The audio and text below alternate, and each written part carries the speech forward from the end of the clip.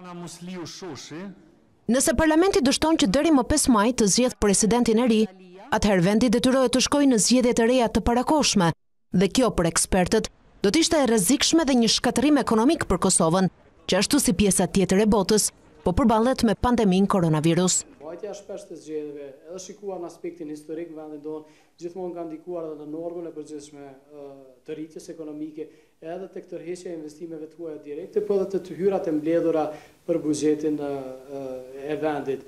Në një situatë hipotetike kur ne do të kishim zgjedhje më të shpeshta brenda një intervali të shkurtër kohor, unë besoj që ndikimi në ekonomi do të ishte shkatërrues, aq më tepër nëse kombinohet sërish me ndikimin që ka pandemia Covid nëntëmbëdhjetë. Sipas ekspertit të ekonomisë, Lekë Musa, ndërrimi i shpeshtë i qeverive ndikon negativisht në tërheqjen e investitorëve të huaj.